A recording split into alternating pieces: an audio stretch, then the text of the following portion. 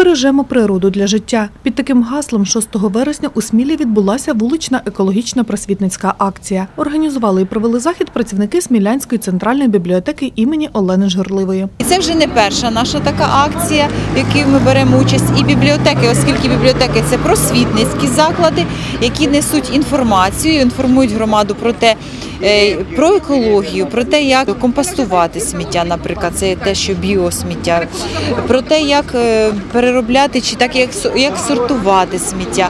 Ну тобто, всі ці е, проблеми, проблеми екології ми порушуємо. Крім того, у нас є дуже багато інформації в книжках. У нас багато літератури. Ви бачите зараз на стенді, яку ми висвітлили. Це і про воду, і про те, як берегти водойми, і як економити воду, про те, як переробляти сміття, також звичайно, про природу, про тварини. Червона книга є на стенді. Хотілося, щоб більше наші сміляни звертали на це увагу, тому що це наше життя, це майбутнє наших дітей.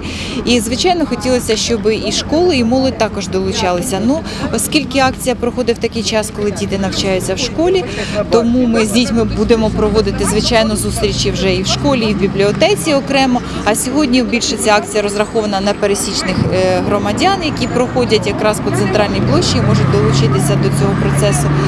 І ем, хотілося б, щоб більше. В основному дорослі люди. І це приємно, що вони теж слухають і сподіваюся, що вони донесуть до своїх дітей і до своїх родинах теж розкажуть про сьогоднішню цю акцію. Перехожим бібліотекарі роздавали пам'ятки із закликом опале листя компостувати або вивозити, сортувати відходи, винищувати амброзію та економити воду, аби сміляни мали змогу у будь-який зручний для них час завітати до бібліотеки і переглянути тематичну літературу. Працівники книгозбірні, навіть прихопивши з собою формуляри, записували нових відвідувачів. Підтримала дану акцію і екоактивістка Ольга Мельник. Все-таки треба доносити до дорослих, до батьків. Е, Сьогодні на акції дуже багато, так як е, всі працюючі, людей старшого віку, які гарно відгукаються і навіть просили приєднатися, якщо будуть якісь акції вже не просто просвітницькі, а акції по прибиранню, долучати їх, запрошувати. Вони радо відгукаються. Е, Акцію свого боку, і на що б я хотіла наголосити для дорослих, це те, що ми бачимо зараз увечері. Красивий захід сонця і багато диму диму, яке йде від опалого листя, коли люди спалюють, і це ще тільки початок осені. Е, Надалі листя буде опадати більш е, потужніше, і це призведе просто до повного задимлення нашого міста. Тому в мене велике прохання до мешканців міста.